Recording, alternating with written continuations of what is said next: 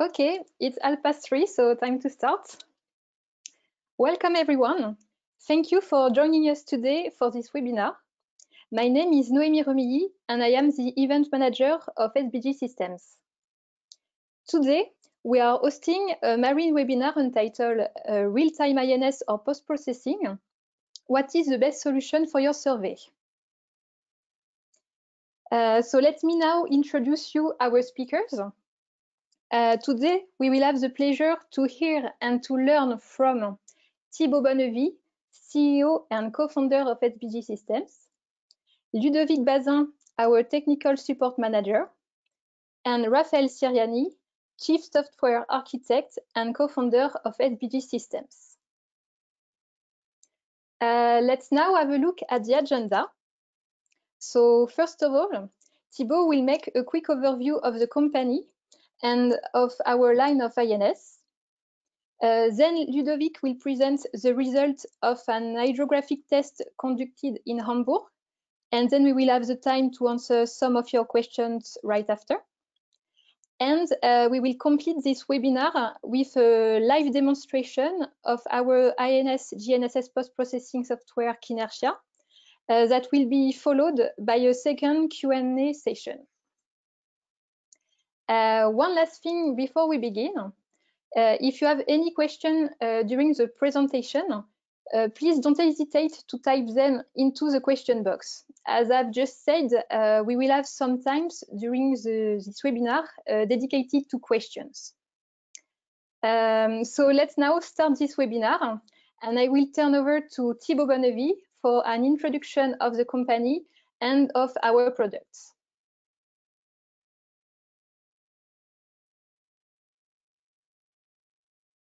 Thank you, Noémie. Welcome, everyone.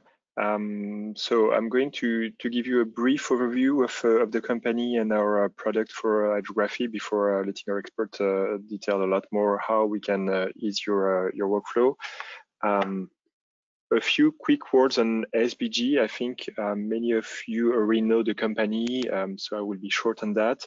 SBG Systems um, has been established now 13 years ago, specializing in inertial navigation solutions um, for three main markets. Uh, the biggest one being survey, um, a big part of, of our market, and unmanned vehicle as well, um, and the last part on aerospace and defense. The company is headquartered in France. I think that's pretty obvious with our accents anyway, um, with subsidiaries in the US and in Singapore to serve our uh, global worldwide uh, customers. Um, we've got a strong experience in, in the field uh, with more than 25,000 sensors now um, um, in various uh, applications and, and, customer locations. If we look a bit at our solution for hydrographers, we divide them in, uh, in four um, main scenarios. So all our, our all-in-one sensors, which are more dedicated for um, integrators and space constrained application, our solutions, uh, and mostly NavSight that I will detail shortly, our post-processing software with Qinertia, um, and a set of services to help you uh, start being trained and get the last update on, uh, on our products and get really the, the most out of them. So two main kind of systems, uh, our all-in-one sensors and our solutions for, for surveyors. Um, on the all-in-one sensors, you, you, will find everything from the ellipse to, uh, to the apogees. Um, those are more designed for unmanned surface vehicles, uh, buoys, or different application where the space is extremely constrained. Um, however, on regular vessels, we, you will mostly see our NavSight solution with three different grades of accuracies, where the processing box is separated from the IMU. So that helps you to mount the IMU close to the sonar head uh, or in, uh, in, a de dedicated room and have your processing unit uh, either rugged or racked mounted um, on your control room. How do we separate them? It really depends on the market and on the um, um, on the kind of survey you're going to, to perform. Um, the ellipse is mostly used for single beam and, uh, and echo sounders, uh, so, sorry, on single beam echo and side scans. Um, it gives you uh, the accuracy you need for that in an extremely miniature uh, product and, and very cost effective one. Um, however, NavSight exists in three different grades with Ekinox, Apogee, and Horizon, which are really more designed for multi-beam survey. Um, and the choice being then is based usually on two criteria, the accuracy, so the depth you're going to survey um, in and also um, the conditions. The more challenging will be the condition for the GPS signals, um, the more we're going to go to higher end products if we want to survey in real time. Uh, let's say you're surveying under large bridges, um, you will need something more accurate. Um, and we'll go more into details and to, uh, and to uh, results on that with a Ludovic presentation right after. Uh, so that's what we uh, offer on the hardware side. That's completed with powerful software um, that we call Qinertia, which allow you um, a full post-processing of all your data, um, and that's been developed fully in-house with keeping in mind really the ease of use and uh, how to make your survey um, much easier and also give you more control on what you're doing. So that's what Rafael is going to, to present at the end. Um, last but not least, we, we have developed a full line of service that we call the SBG Plus services. Um, that's based on two main um, kind of services, the one around the equipment um, to, to secure your investment and the one around the competencies to, to give you remote uh, training or quick start on-site trainings. Um, and also we can be on your side for different kind of intervention days. Um, I, I, think I've been um, focusing a bit on, on that on different uh, slides before, but really what we keep in mind on everything we're developing for hydrography is how do we make um, your job much easier than what you used to be in the past. So that come from modern GUI uh, to uh, new features to help you uh, calibrate your level arm, get some controls on your data in real time and in post processing. So that's really what we keep in mind when we're um, upgrading and designing our solutions. Um, those systems, we know you're going to operate them extensively, uh, sometimes uh, seven days a week, and some jobs many hours a day. So um, we try to make it as reliable as possible. So that comes first with maintenance um, where we are providing free firmware upgrades uh, on the full um, product lifecycle. Um, that's something we provide for all our hardwares. Um, the, the, calibration um, with the MEMS sensors is extremely stable, so uh, we do a lot of in-house calibration in order to help you not having to deal with that. Um, and we have some check procedures uh, in real time, so uh, you make sure all the time that your system is uh, operating well. Technical support is also key for us, so that's why we have three locations for that, California, Paris, France, and Singapore. So we cover 24 hours a day of technical support with uh, experts in, uh, in the graphic area. Um, and all our sensors are um, export free, which means uh, we're going to ease and speed your logistic if you're going to operate in different locations. Um, many of you already uh, experience our product, so I just want to give you a quick overview of uh, what we're releasing um, this uh, this month. Um, two main things: a new um, major firmware for uh, our um, product lines and uh, a new version of Qinertia. So on the firmware side, um, we uh, we have redesigned a lot of things, uh, starting from the data logger, uh, which is a lot more powerful and easy to use. Uh, you can uh, customize a lot of things to uh, to make your um, recordings easier to to recover.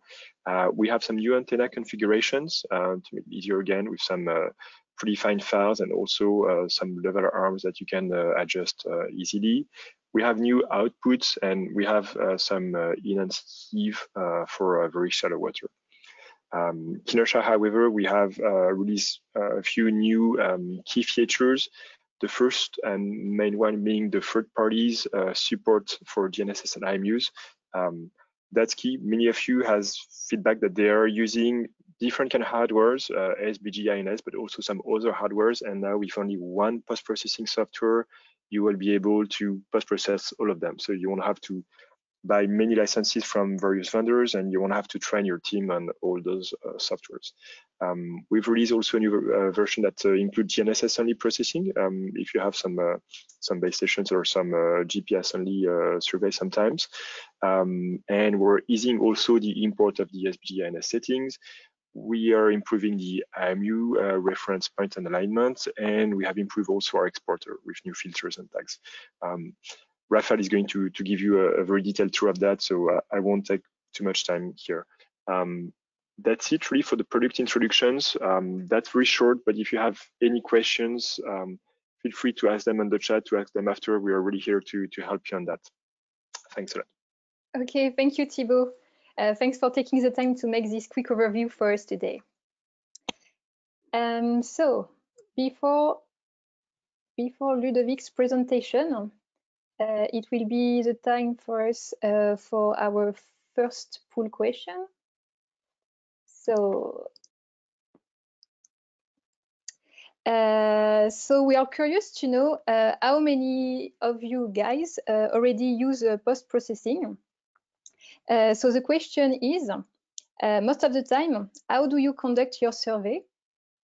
in real time only, in real time plus post-processing if you have to, or I always post-process post my missions. Uh, the question is on the screen, and I let you a few seconds to answer it.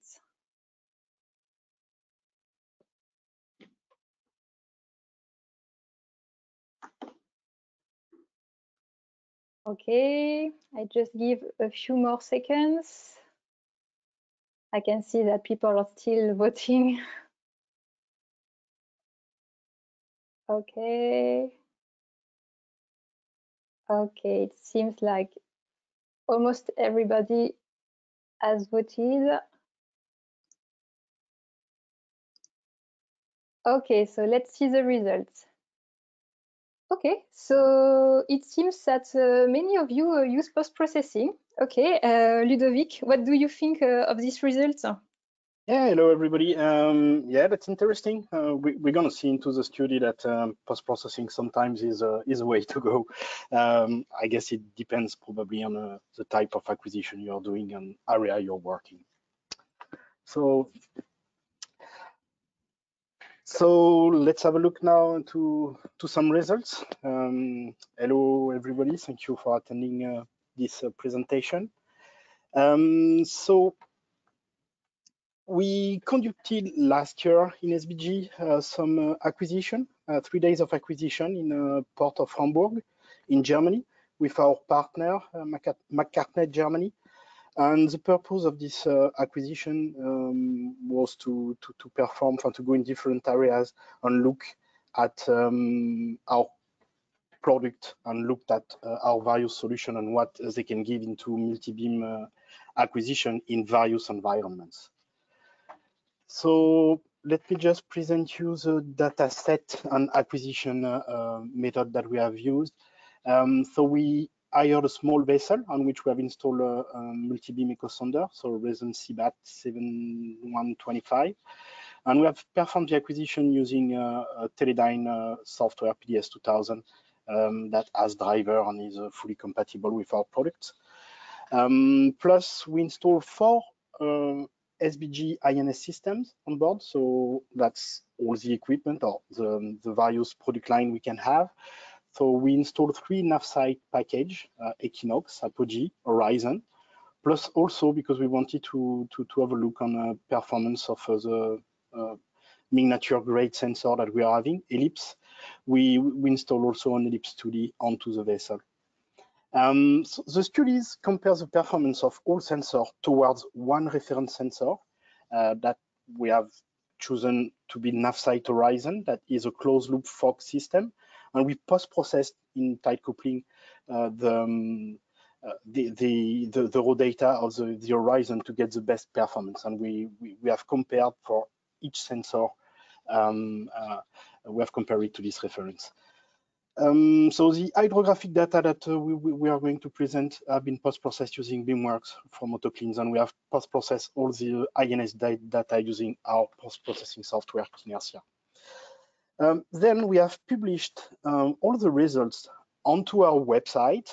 So the full study is available onto the website. There is a test, uh, a test report uh, page and you can have a look on the test condition, but also the, the results depending on, on where we have been doing acquisition. So I, am going to come back later on uh, onto this, this page to, to present you uh, some detailed uh, results there. So let's have a look now at the first uh, data set. So um, the first data set was uh, in Hamburg. It's an open sky area um, where we have we have been doing acquisition. So if we look at the, um, the real-time um, data themselves and we compare it to the to the reference system, that is a post-processed one, uh, we can see that in terms of motion, uh, the acquisition um, showed that um, when we compare the data, that uh, all the data are providing suitable and pretty good uh, uh, accuracy. So uh, looking at um, Ekinox and Apogee, uh, you can see that the results are below 0.03 degrees for motion. And if we look at the ellipse um, that is originally not designed for, for this kind of acquisition, you can still see that we have pretty good results there, uh, having the sensor around 0.05 degree um, when we compare it. Um, if we look now at the heading, um, that's about the same. Almost all the sensors are providing pretty good stable data. The ellipse um, might be just at the edge, but it's fully into its specification. And um, depending on, on area you will be doing acquisition, the sensor can provide uh, a decent data set. So if we look now uh, at to the position performance, uh, we can see that all the sensors um, are providing very good um, accuracy. So below five centimeters of accuracy, and most of the time it between one to two centimeters. Uh, the main reason for that is that all the sensors are embedding uh, GNSS uh, RTK survey grade receiver board inside, and we add um, real-time correction. So we managed to, to, to have a very good uh, uh, accuracy uh, during the acquisition. Um, so there was no real challenge, by the way, because um, the, the, the reception was was good. Um, so let's have a look now uh, onto the bathymetry um, uh, data themselves.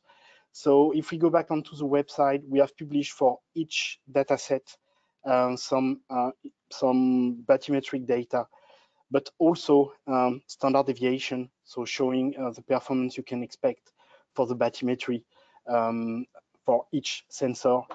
Um, we have also published a map uh, um, with the survey conformance. So this is a repeatability when you're when you are doing uh, when you're doing acquisition, you are doing several passes and you have overlaps in between the data. So it's how your data are being repeated for each pass.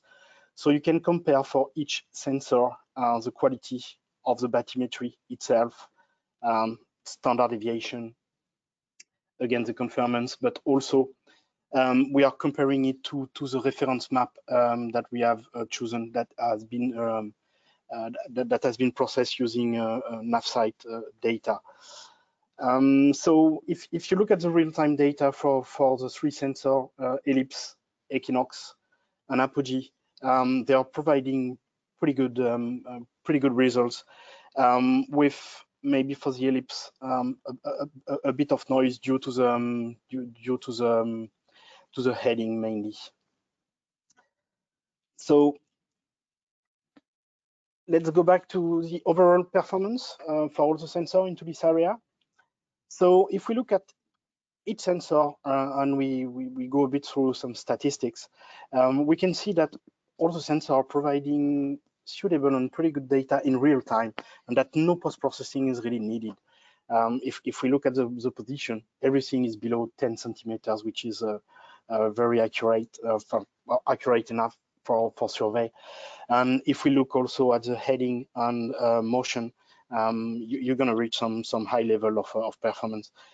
Into such areas, there is no challenge in terms of GNSS reception. So all sensor will be able to provide a, a good RTK uh, RTK accuracy, uh, which is good for for for the acquisition, and that it, it, doesn't request any post-processing after that. Uh, if we look at the motion, um, even if the ellipse is uh, is fully and probably better than than the uh, in terms of performance than its specification, it can be just at the end um, for for such acquisition. Um, probably you're going to have some good results uh, using uh, on multi-beam acquisition um, in very shallow area and with low motion. So in terms of package, um, a valuable package that we will be recommended on our side for those uh, open sky and, and, shallow survey will be the Ekinox, and it doesn't require post-processing. So let's move now to the next area. uh, which is a survey, um, a survey under bridge, Elbrücken. So let's have a look at the results. So one of the challenge into such area, it's uh, GNSS outages. Um, the bridge were quite big, quite large, and we we, we had uh, GNSS outages from 45 to 60 seconds. Um, plus, um, as you can see, uh, looking at the small dots here, uh, some noisy GNSS data. So it, in, in such condition, um, INS sensor are mandatory. So we'll be focusing only on Ekinox and Apogee uh, onto onto the presentation, onto this presentation, mainly because Ellipse is um, is is not able, is not capable to to to provide good enough data set into such area because it hasn't been designed for that. So let's have a look um, at the motion and um, heading data.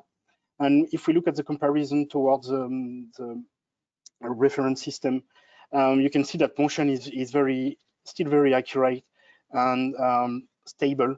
Uh, you can see a slight difference in between the Apogee and the Ekinox, which is normal. This is linked to the sensor grade. Um, and if we look also at the heading, the heading is, um, is, is, pretty good and pretty stable um, during the acquisition. Uh, slightly, again, better for the Apogee, uh, which is normal as it has higher grade uh, gyroscopes inside. So looking at this area, the motion and heading is not itself the proper challenge um, because it, it's being maintained even in real time uh, using gy the gyroscopes. If we look now uh, at the position and we look at the comparison uh, to, to the reference system that I, just to keep in mind is a post-processed one, um, you can start seeing some significant drift uh, that are going above two meters for the Ekinox and even for the Apogee sometimes up to 0.6, 0.8 meters, almost a meter. Um, that makes data in terms of 2D position not really usable for final data. That's uh, um, I mean, you, you, you're going to have some impact and going to see some glitches onto the bathymetry if you use directly the, the data like that. If we look at the height now, um, you can see that the height in real time um, stay pretty stable. Um, this is thanks to um, uh, to uh, an option that we are having into our sensor in in real time. Uh, we have an enhanced RTK mode. Um, in fact, we are using the Eve to mitigate the drift whenever we are losing RTK corrections and stabilize uh, the height. So um, that, that, that's the reason why I still okay for this kind of uh, uh, uh, in real time. Sorry. Um, so if we look um, a, a, bit more specifically at this area, so we can see that there are some long outages plus noisy position. Um, so the inertial solution allows to maintain um, a good solution or a much better solution in real time than uh, what a GNSS receiver only can do. Um, but still, um, there are some uh, some some small drifts and some small jumps. So post-processing uh, PPK is uh, the highly recommended solution to maintain a suitable uh, accuracy for survey. Um, so if we look now um, at the comparison uh, data after post-processing, so motion is still good, and even it's being improved by the post-processing. Um, mainly when you are doing uh, post-processing, you are you are doing a forward and backward computation, and that allows uh, reducing or increasing the accuracy of the of the motion also.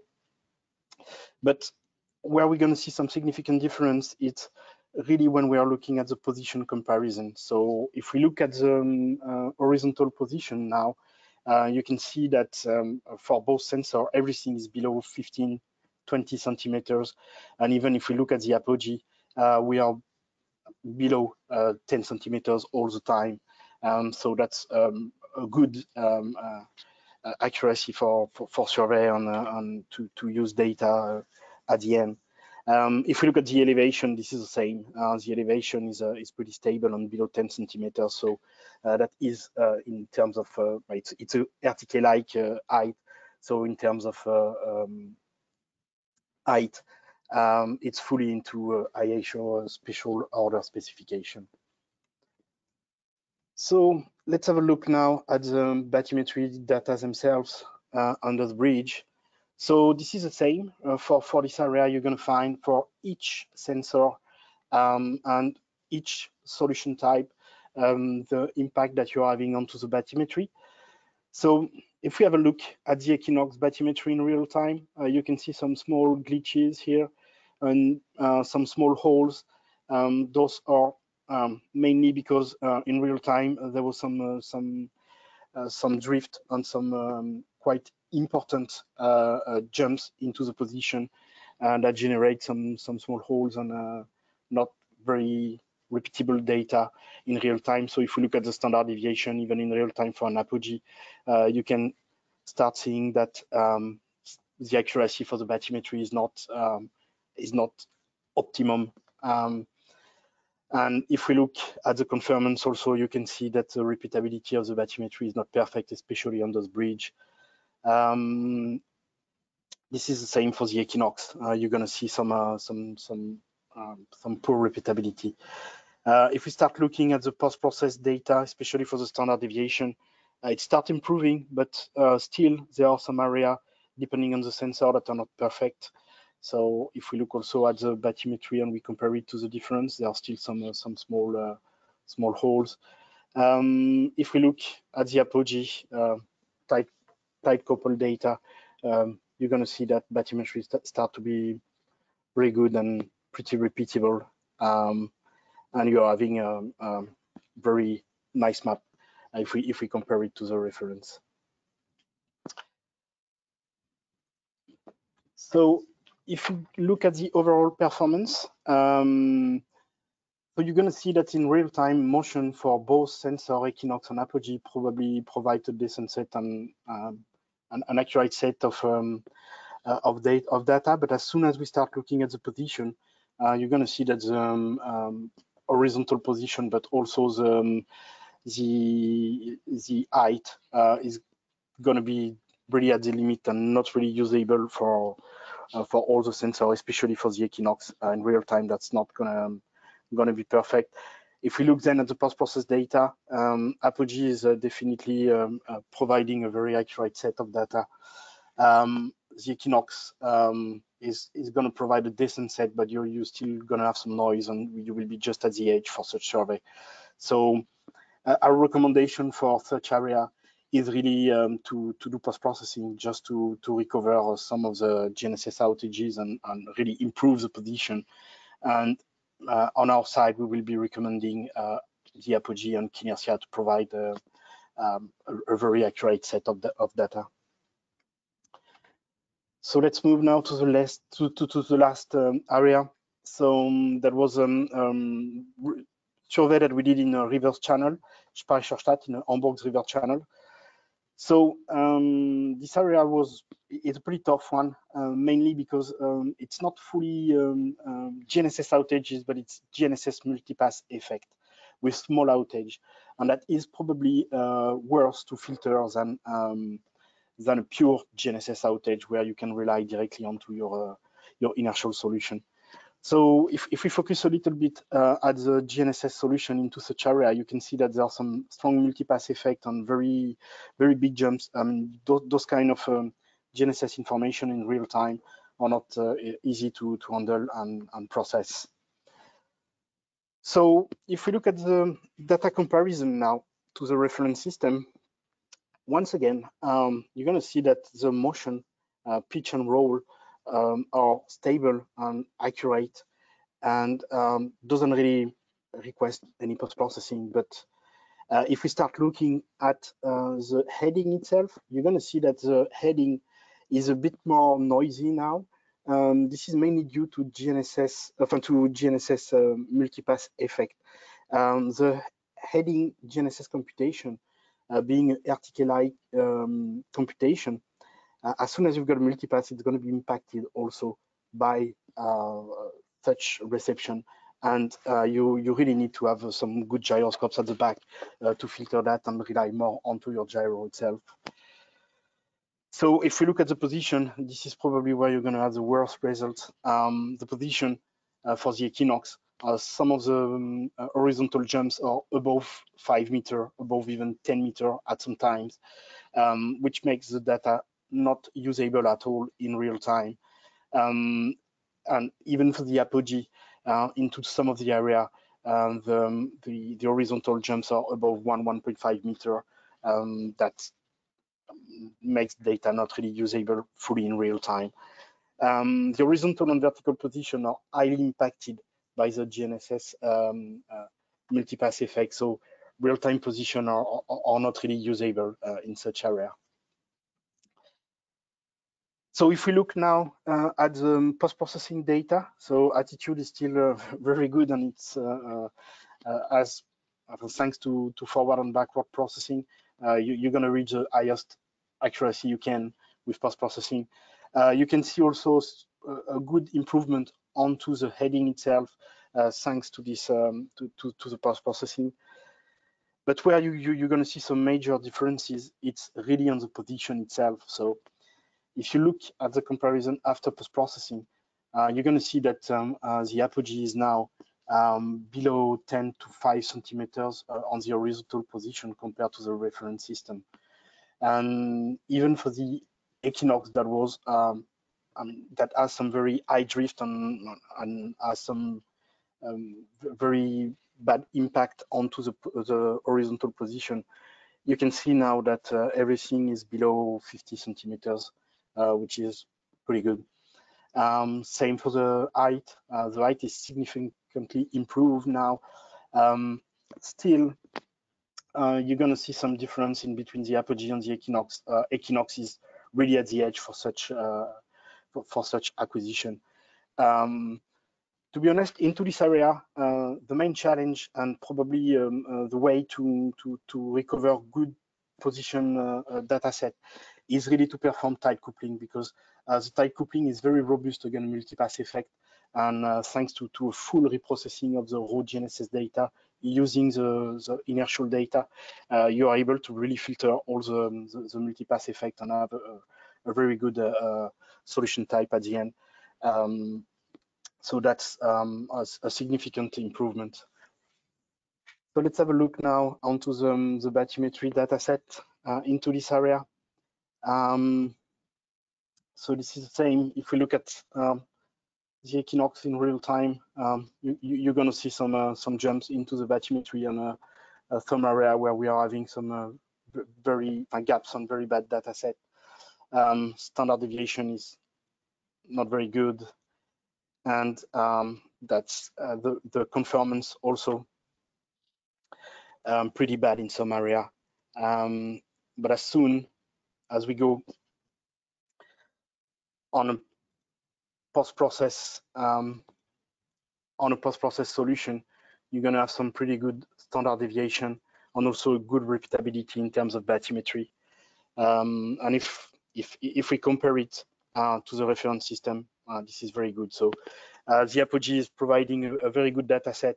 Uh, the Ekinox on post-processing, um, you, are going to have a decent, um, a, a, some decent results. still, you're going to have some some small glitches onto the bathymetry um, because it's, I mean, the, the, the performance of this sensor is just at the edge for such area.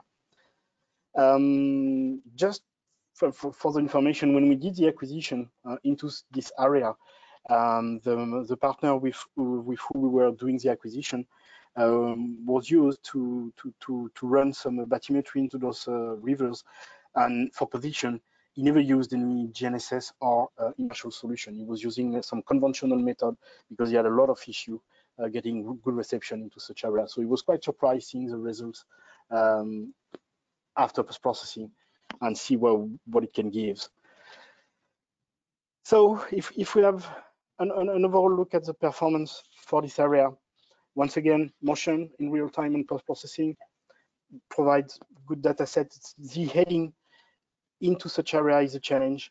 Uh, so post-processing to gain accuracy into such uh, into such environment is probably mandatory. Um, the main challenge is really the position uh, with some high uh, RMS difference, especially for the Ekinox in real time. Uh, Apogee still provide in real time maybe some decent data set, but you still have some jumps from time to time. And one of the points is that you are, you know, in terms of position below uh, 10 centimeters, uh, um, maybe 80% of the time, 85% of the time only. As soon as you post-process the data in such area, you're going to have a, a, a, good, so some some really good improvement onto the, the position itself. Um, and both sensor uh, at the end are providing decent good results in PPK uh, into some into speci uh, IHO specification. Uh, but the performance of the IMU itself is really noticeable, uh, especially in real time. Um, so a recommendation for such area, the Apogee plus Qinertia is probably the optimum package in such conditions. So we, if we have a look now um, at the overall study um, and we look uh, at the various systems and depending on conditions, um, we, try to summarize a little bit what, what will be our recommendation uh, depending on the, the, survey type that you will be doing. So um, in open sky uh, and shallow water area, we will be recommending the Ekinox and a, a real-time uh, um, real-time acquisition is um, is perfectly good. Um, then, as soon as you enter into um, bridge or where you're going to have some outages and uh, Arch GNSS environment, the recommendation will be um, mainly the Apogee based. And uh, for long outages and very harsh environment, uh, post-processing is, is, is really a valuable package. You, are going to see after that that uh, post-processing um, with Qinertia is not so long at the end, and it can be pretty fast to have uh, to, to have a final data set uh, that is usable for for post-processing, and you can export in various formats. So um, that are that is compatible with most of the uh, processing software, most of the multi-beam processing software today. Um, then if we look at the Ellipse, um, I, I, know that some people are asking questions about the Ellipse for, for such a survey. Um, probably for very shallow area uh, in real time and in and in with flow motion, it, it's going to provide you some decent set of um, of data, but um, it's it's not designed uh, originally for surveys, so uh, it's going to be really at the edge uh, in some in some occasion. And if we look at the entire package, probably on our side, the Apogee is, uh, is the, the, the, let's say, universal package that's going to work in any kind of, of area.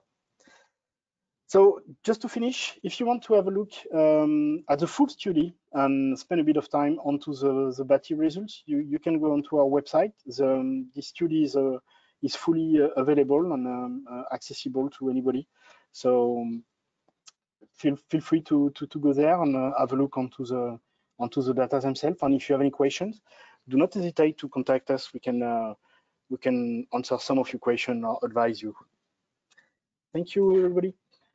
Okay, thank you so much, Ludovic. Um, we will take some time for questions now. Uh. Okay, so let's have a look. Wow, it seems we received many questions. Um, okay, Ludovic, first question. Uh, what is the ability to post-process Ellipse 2D data? So it's possible to post-process Ellipse 2D data. Uh, for that, you have to make sure that you are logging um, the raw uh, IMU data, plus also all the raw GNSS uh, data. Uh, the product has not been designed for that originally, so there is no data logger into it. Uh, it's not so easy, so you have to, the people have to organize uh, the logging of the data itself, but it's fully possible to do that into Qinertia. Okay, okay, thanks, Ludovic. Um, we have a second question. Uh, what are your thoughts about surveying with PPP? Um, PPP surveying and mainly PPP corrections um, are good for uh, offshore uh, survey. Um, so that's been as soon as you're a bit far from the coast and you you may not have any uh, RTK capability, um, broadcast or, or um, uh, this kind of things, PPP is, uh, is really the way to go uh, to do offshore survey. Um, and you're going to have a decent and pretty good accuracy for such acquisition. Uh, one of the main points with PPP is there is some convergence time at the beginning when you are doing, because you have to initialize and converge toward a, an accurate position. So that's not going to work as soon as you're going to have some GNSS outages, uh, because each time you, you, you will have outages, you will have to converge again towards an accurate solution. And this can take from 20 to 20 minutes to 30 minutes. So that's going to be too long for survey. So PPP, yes, especially uh, uh, offshore. Um, as soon as you're onshore, I would say, or more on coastal survey, uh, we will recommend RTK. Note also that um, we can do PPP post-processing into Qinertia afterwards. Okay, thanks a lot, Ludovic, for your answer. Yep. Um, so um, now for the for the last part of our webinar, uh, I will let Raphaël introduce you Qinertia, our post-processing software. Uh, but before that, uh, we will have our second poll question. Um, so we are interested to know uh, what you think about post-processing. The question is, for you, post-processing is efficient and easy, complicated and time-consuming, mandatory for high-quality survey, or not necessary, real-time is, is, enough. So this is a multiple uh, choice question, so you can choose up to two answers. Uh, the question is on your screen, and I'll let you a few seconds to, to answer it.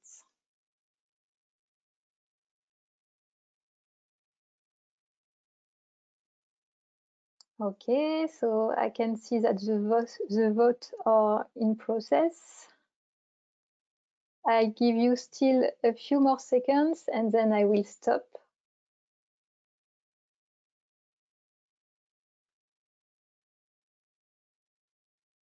Okay.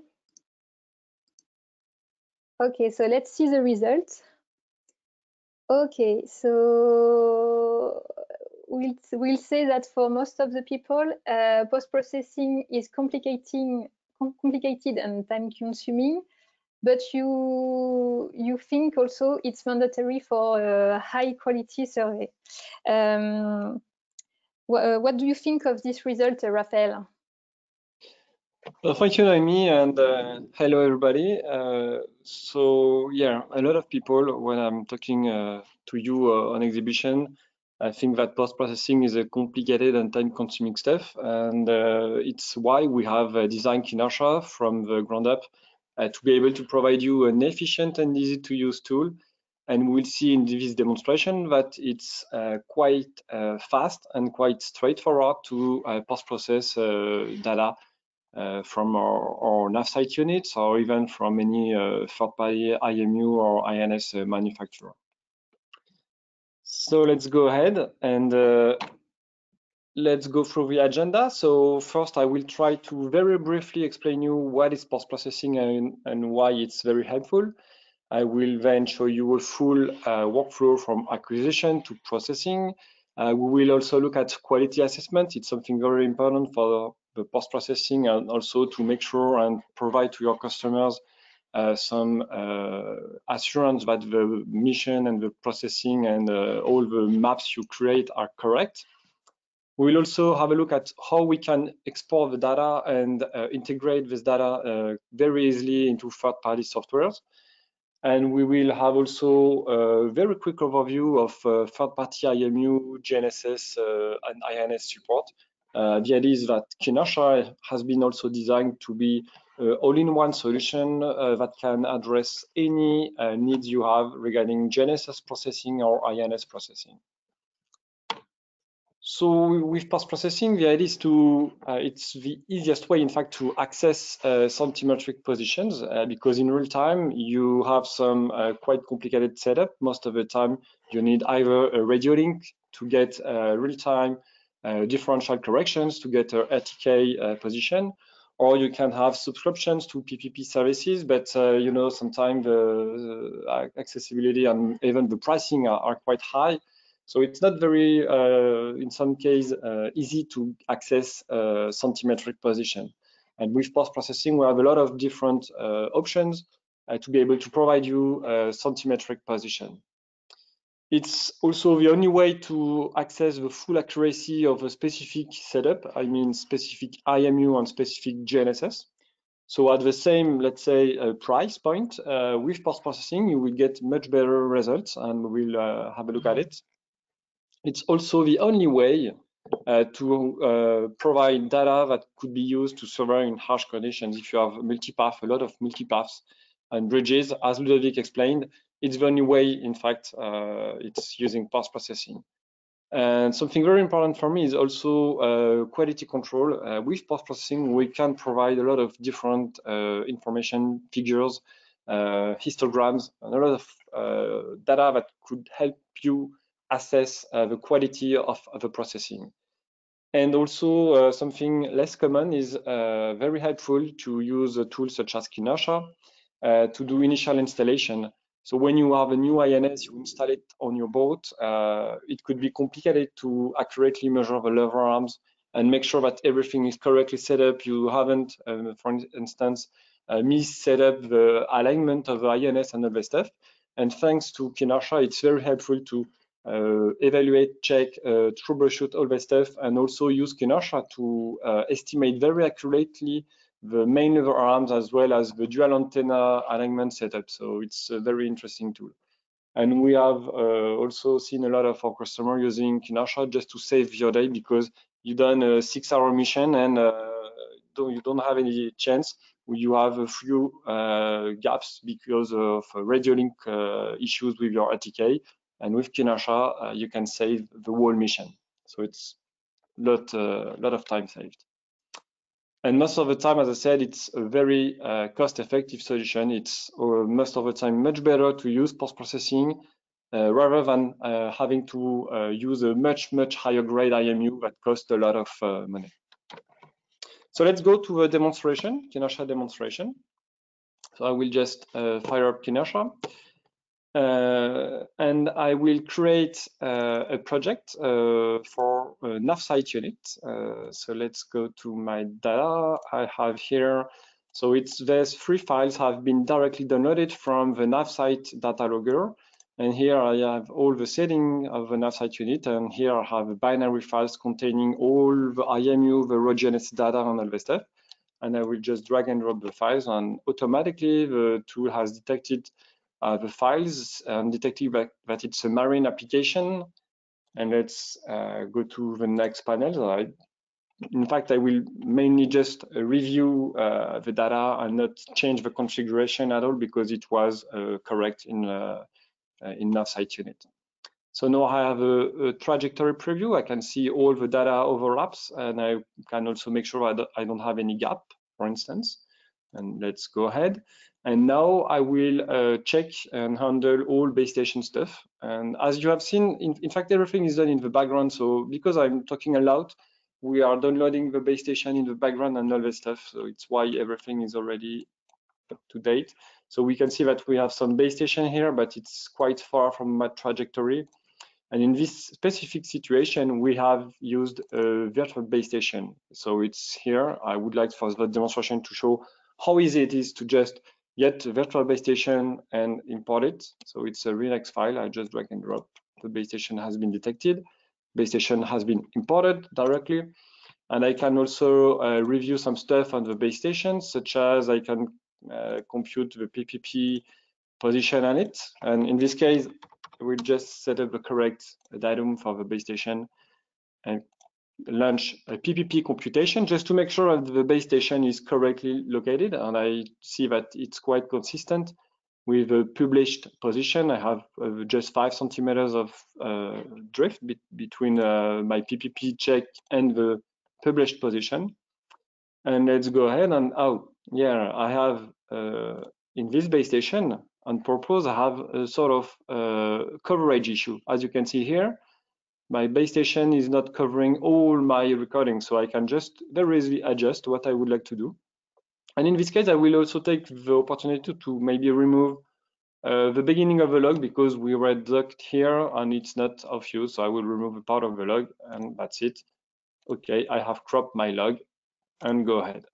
So now it's an horizon that has been selected automatically. Everything is, uh, the all alignment has been read from the unit itself all the lever arms. So here we see that we have this antenna, we have uh, the main and secondary lever arms that has, have been directly read from the unit.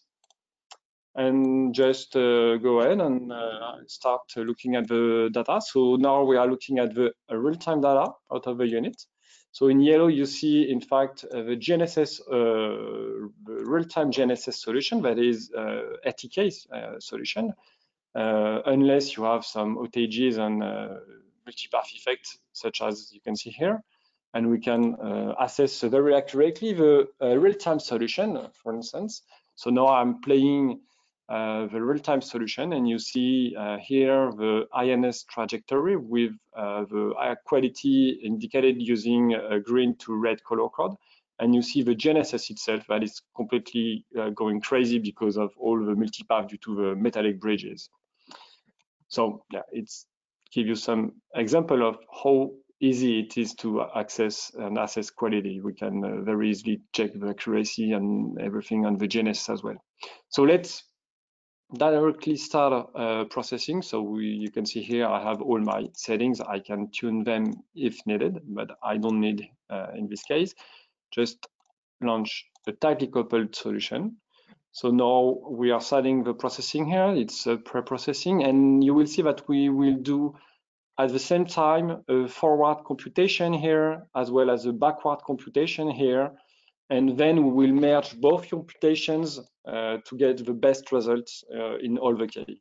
So in fact, the idea is that when we do a forward computation, the quality will be very nice when we enter the bridge, uh, but it will be uh, the worst accuracy will be at the exit of the bridge because we will drift during the whole bridge. But in the backward direction, it will be the exact opposite. It will be nice at this area and worse here. And thanks to the backward, forward, and merge solution, in fact, we will get a very accurate result here, very accurate here, and in fact, it will be in the middle of the bridge that we will get the least, the least accurate position. So the processing is done. It was a one hour log. As you can see, it took us uh, less than one minute to, to do a full tightly coupled INS solution. So it's very, very fast processing. It's because we use a very uh, modern architecture with uh, multi-core support and all that stuff. And now we can just uh, review the quality of the processing and, and check some data. So we can see here that we have some pure inertial data. It's mainly uh, under the bridges, and I can switch the display here to check the position type, and I can see here that I have RTK fix, RTK float, inertial only, RTK float, RTK fix solution because uh, under the bridge, of course, we just rely on the IMU data. And here we can have some nice uh, quality assessments. So in this case, it's uh, the horizon unit. And you see that uh, we have uh, both in terms of estimated accuracy as well as in terms of separation, a very, very accurate roll pitch, uh, heading information, the same for position and I can even uh, pick up a specific area. So I can do it here, for instance, or I can do it directly in the in this in this part. I can pick up some area and say, okay, I would like to analyze just this area, define as analysis, and I can check on this area only uh, the estimated accuracy, the separation. So the separation is the discrepancy between the forward computation and the backward computation. And we see that in this area, uh, we have a very, very uh, accurate uh, result. We also have a lot of different uh, tools to help uh, assess the quality, such as a lot of curves. We can check the gyroscope bias. We can check uh, we can check the GNSS data in real time. We can have the chip, the ship motion data, surge, heave, sway, all the stuff. we can, of course, check the altitude as well. So as you can see, we have a lot of different uh, tools and curves. Uh, we can stack the curves, so it's very convenient. And we can also look uh, at the real-time data side by side by side and do some uh, side-by-side -side comparison, such as in this area, I can play the data and you will see that uh, I have uh, here the post-processed on the left and the real-time solution on the right. And we see uh, that the post-process solution is much more accurate. Uh, we are using the same color code convention, and you see clearly the benefit uh, from uh, the post-processing. And here I can check the gyroscope bias and, and see that the gyroscope bias are super stable and super accurate. Uh, 0.02 degrees per hour of bias, it's uh, very, very nice uh, fog IMU this one. The final step will be uh, exporting the data. So it's quite convenient, file, export, and we can create as much profile, export profile that we would like, and uh, do a lot of stuff such as uh, export on uh, time-based export, epoch-based, uh, event-based. It's used uh, if you have some LiDAR cameras and all this stuff sometime. I can say, okay, I would like only RTK fixed uh, solution or PPP fixed solution. And I can create my own uh, text file format uh, just by drag and dropping some uh, tags and setting up uh, everything on each field. So it's very, very convenient and straightforward. And then I will export the data and that's it. I open the exported data and here we go, we have all the, the data we, we wanted to export. Uh, finally, we can also uh, do some uh, GNSS only computation, such as this one. I will just fire up a GNSS only computation. So we will not uh, use the IMU data, but just do the GNSS computation. As you can see, uh, because it's a GNSS only, we will have some uh, holes here but we see that we have improved a lot uh, the RTK availability. In this area, we don't have RTK for the real-time GNSS, but here we have RTK fixed here. So we improve a lot also the uh, a, a real-time GNSS receiver. It's the case here, you can see as well. And uh, last option also is to do PPP computation, either GNSS only or uh, for the uh, INS post-process PPP.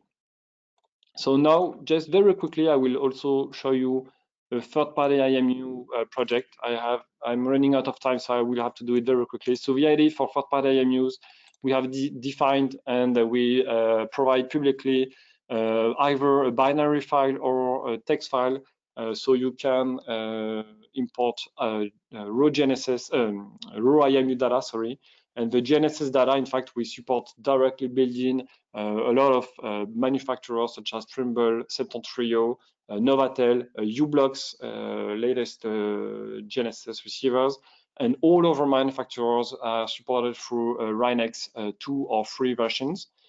And uh, the idea with third-party IMU support is to uh, provide you this uh, very simple uh, text file that you can create from any uh, tool.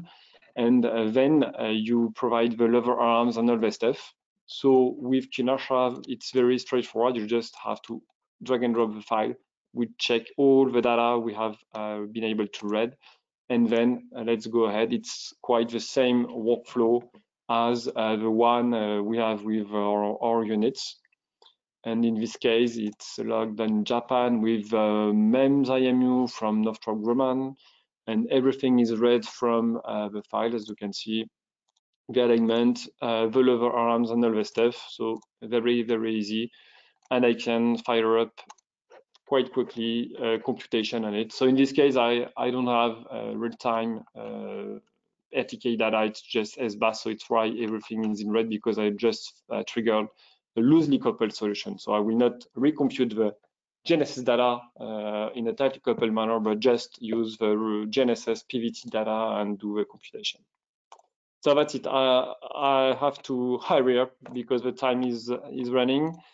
Uh, so what we have seen is that uh, uh, is a very easy and straightforward tool uh, to do post-processing jobs uh, with cutting edge tightly coupled algorithms. So it's uh, really the, the, most important point. Uh, it's in-house tightly coupled INS and GNSS algorithms that are running in Qinertia and delivering amazing results. Uh, we also provide GNSS only RTK PPP, so you can do any type of jobs you would like to do. Uh, the lever arm calibration module didn't have any, enough time to showcase it, but it's a very nice tool to assess uh, the lever arms uh, quality you measurement. A lot of quality assessment tools, third-party IMU support. So thanks to one tool, you can do all your jobs. You don't have to pay for different tools and formation and, uh, and training and the rest type of uh, stuff. And finally, uh, we have a very powerful export system so you can directly export in SBET files if you are used to this type of files and uh, integrate the data in any type of uh, software such as uh, HYPACK, uh, Qimera, uh, and all, all this type of uh, software. So thank you very much. And uh, if you have any question, please feel free and I will give the hand back to Noémie. Yeah, thanks a lot, Raphaël. Okay, so let's see quickly if we've got some question related to Qinertia or post-processing post-processing in general. Uh, question number one. uh, what do you recommend for surveys in poor, in poor base station coverage? So it depends if you're in a remote location with no base stations at all. In this case, the PPP will be the way to go. Uh, as I said, we have PPP either uh, with our uh, product, real-time product, uh, with the Marinestar uh, subscription, or with Qinertia, we have a free PPP module. Uh, the only limitation is that you have to wait for 24 hours before you can do the computation but on the other hand, you don't have to pay anything and you will access uh, centimeter level accuracy worldwide with this uh, PPP solution. Uh, the other solution could be to use uh, what we call virtual base station. So we have been working for the past three years on uh, virtual base station algorithm, and uh, we are very proud to introduce virtual base station this year with the ability to use either a permanent network base station and also your own base stations to create a virtual base station network around the trajectory and be able to access a short baseline RTK accuracy anywhere in your trajectory. So it's for me the two uh, best options if you don't have a base station nearby. Okay, thanks, Raphaël. Uh, I have a second question for you. Um, how do you integrate the PPK data into third-party survey software, uh, for example, HYPACK or QINSy? Um, uh, as I said, uh, we have uh, a very easy to use uh, exporter. You can either use SBET because a lot of third-party software support it, or you can also use any ASCII text file that you can create, and we are already in touch with all these uh, manufacturers, uh, software manufacturers, uh, to even uh, define and ease this workflow. But in fact, uh, most of the time, it's just one file uh, with all the position, velocity, attitude, and another file with all the delayed information that you have to import.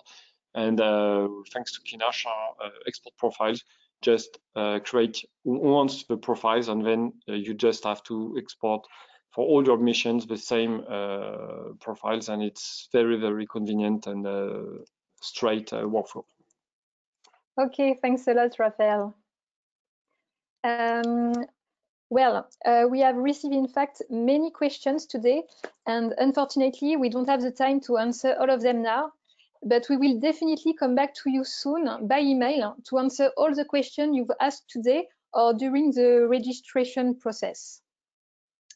Um, our webinar is now coming to an end. The whole SBG team would like to thank everyone. We really appreciate you being here today. We hope you enjoy this webinar as much as we enjoyed preparing it. And for your information, uh, you will receive tomorrow the recording of this session. Uh, please find now on the screen our contact details if you wish to contact someone from our team. Uh, you will also find our very wide distributor network on our website.